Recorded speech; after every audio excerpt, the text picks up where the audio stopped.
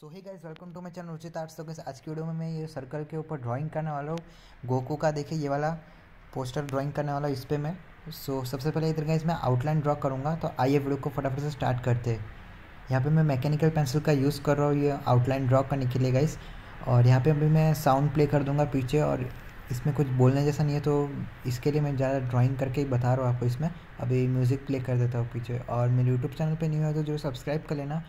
और ऐसी amazing videos के लिए लाइक कर देना मेरे यूट्यूब चैनल को और सब्सक्राइब कर देना बस।